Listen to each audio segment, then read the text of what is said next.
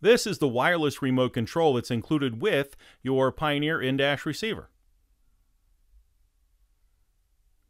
Even though your particular in-dash receiver may be a 1-DIN model or a 2-DIN model, and may or may not have a CD slot across the top like this one, the button operation in this demonstration is identical for the following Pioneer models.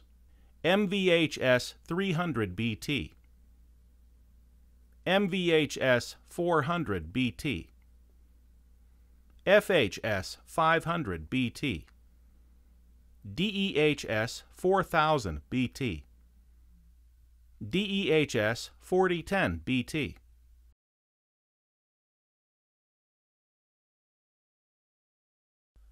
The wireless remote control can be used to operate virtually every function of the in-dash receiver, including volume,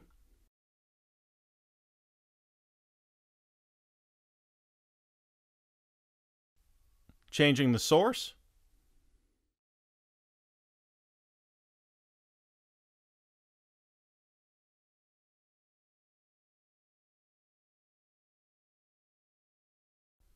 changing the display,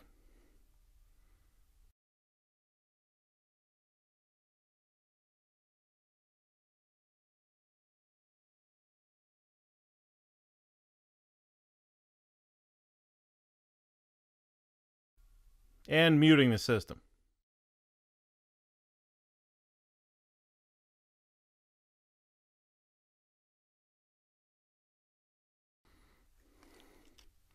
Before you get started with the remote control, be sure to pull this little plastic tab out of the battery compartment.